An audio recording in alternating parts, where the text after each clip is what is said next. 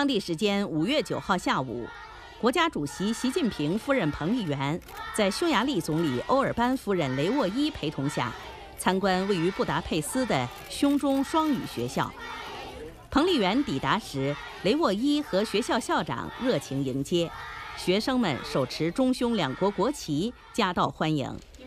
彭丽媛和雷沃伊饶有兴趣地观摩了中文课堂和剪纸、书法等中国传统文化课堂，同学生们亲切交流。彭丽媛表示，匈中双语学校是中匈友谊的象征，很高兴看到同学们中文讲得非常好，希望同学们努力学习中文和中华文化，有机会去中国访问或留学，为传承促进中匈友谊积极贡献力量。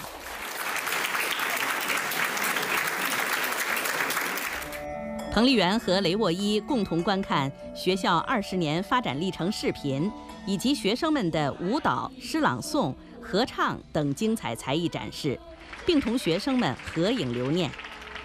临行前，彭丽媛向学校赠送了一批介绍中华文化的图书。匈中双语学校成立于二零零四年。是一所同时使用中文和匈牙利语教学的十二年制全贯通双语公立学校。